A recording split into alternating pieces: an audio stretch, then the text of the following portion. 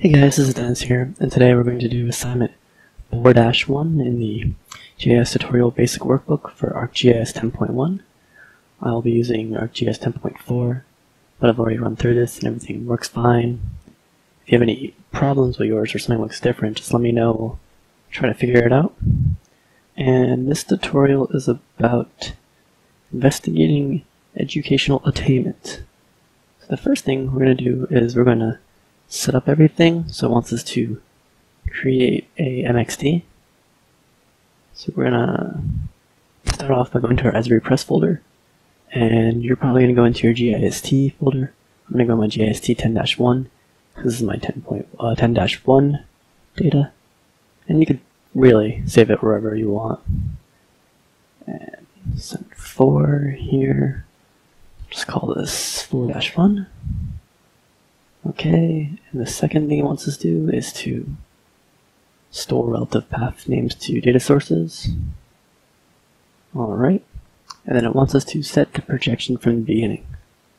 So we're going to go to Properties, Coordinate System, Project the Coordinate System, State Plane, NAD 83 US feet, okay. I believe it's Penn South. Yeah. Okay. Now the second thing it wants us to do after all that, or at least I guess the first thing is to create a GDB. So I'm going to go to my 10-1 folder, put it in my assignments, chapter 4, new file, J file, geodatabase, call it 4-1, now wants us to import some data into the GDB. So import, the first is the feature class.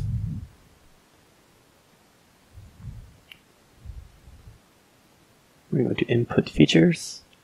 We're going to go to our Esri Press folder, GIST1, data, data files, and I believe it's this. Yep. Okay. Output feature class, we'll call it track for census tract. Okay.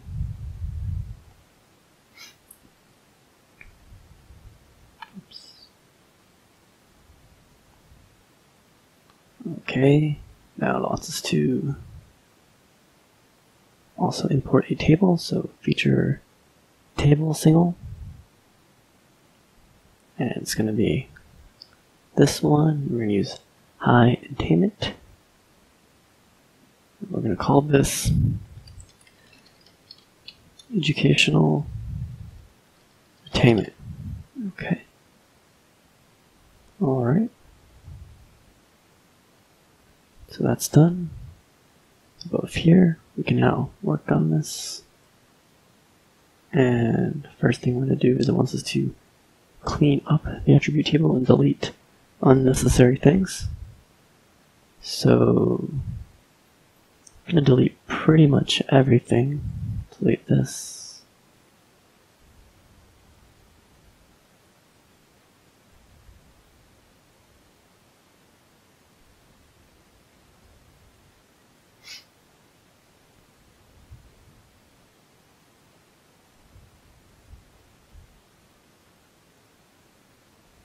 No.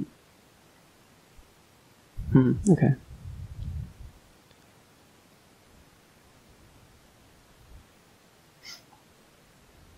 Alright, we're going to keep the GeoID here, and the rest of the stuff we'll just keep. So the first thing we're going to do is, it wants us to join this table into this layer, or uh, shape field, blah blah blah. And first thing we're going to notice is that when we go to fields, the GeoID 10 here, data type is text. And it wants us to join by that and this, the GeoID 2. And this data type is a double. So if we attempt to join it,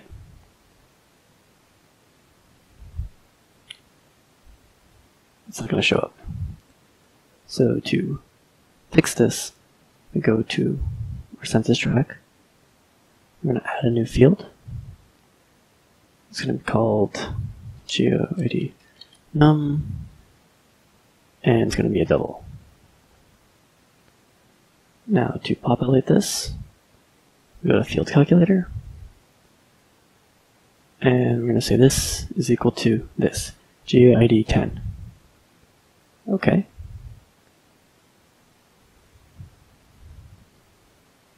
Alright. Now, we also have to do two more fields. So add a field. It's going to be called P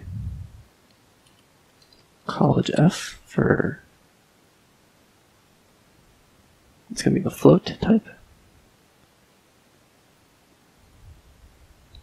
We're going to create a second one. P college M also float.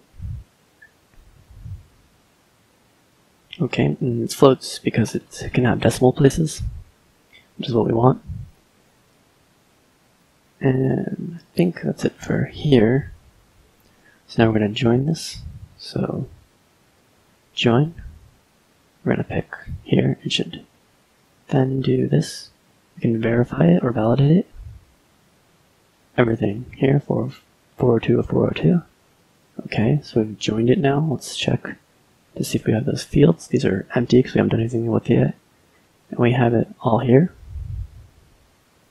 Now it wants us to create these two fields to have the percentage of college associate's degree above their specific field, so male or female. So the first thing we're going to do is we're going to select by attributes. We're going to do female first. We're going to say it's greater than 0. This is because when we do the equation, you don't want to divide by 0. So we apply. Okay, and we'll go here. And field calculator.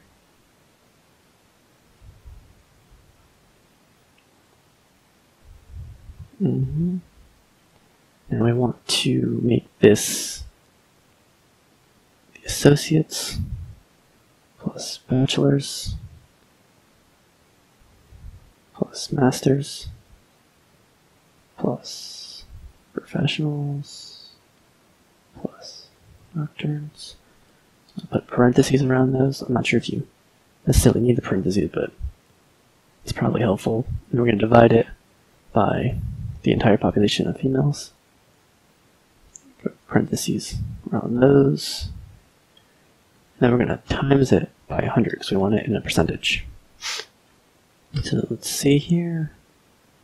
Okay, this looks correct.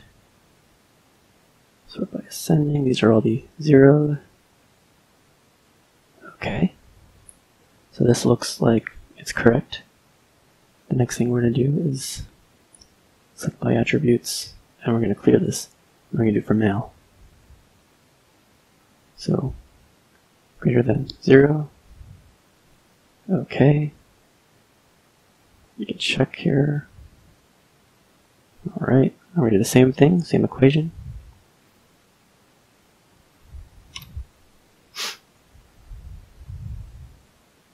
So it's associates plus bachelors plus masters, etc.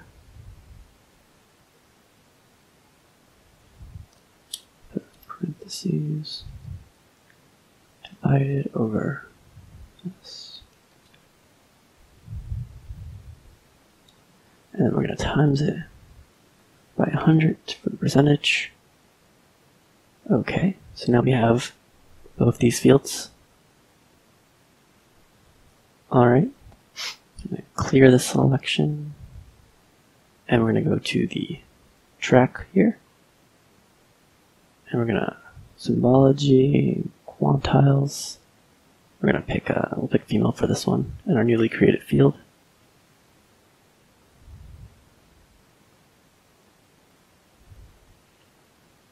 Okay. So this is the field we just created here with the darker numbers being the higher percentage. And now it wants us to copy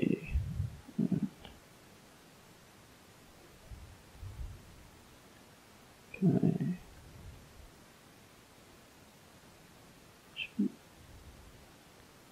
Hmm. Alright, well, I'll just do it this way. Insert data frame. Copy. Paste. Okay, and this is distorted because I assume it doesn't have the same projection, and it doesn't. So I'll just go to projected, State Plane. US feet, it's going to be the same thing we clicked earlier. Usually you can just copy and paste it, but transform, sure, okay. And now we have this. We're going to switch this to male. And we're going to name this. This one's female. This one's male. Okay. Go to our layout view. We should have two here. We do. Let's make it a little bigger.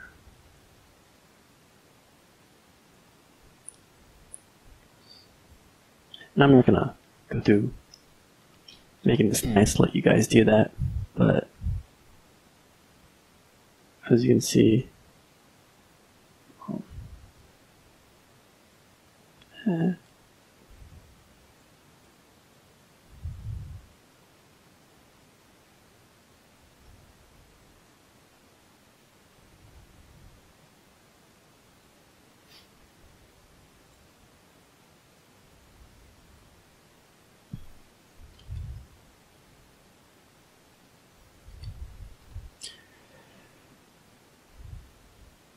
there are some differences between the two, and um, you try to sometimes people have trouble figuring out which one they're working on, right? So if you click this, you'll see it's highlighted here, bold. This is male, this is female, and these are the two different maps I want you to make. Also wants you to make a scatter plot. So we're going to go to graphs, create graph. It wants scatter plot. The y field will be female, X will be male, and okay. You can mess around with this to make it more aesthetically pleasing. Okay, copy as a graphic. Paste the picture. Mm -hmm. This is the general outline of it. And to draw, of course, you would just go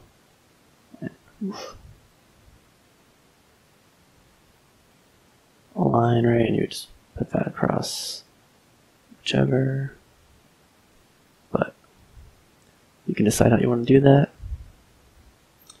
So let me take a look in the book real quick to see if there's anything else here before I consider myself done. Hmm.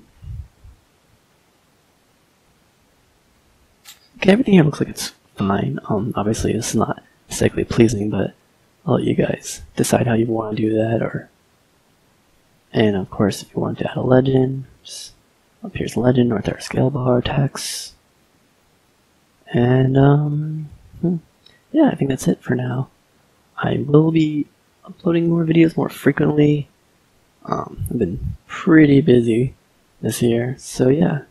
Uh, thanks for watching, and if you have any questions directly related to the video, just let me know. And that is a screeching cat outside, so it's kind of scary, so that's a good time to end the video. But yeah, any questions, let me know.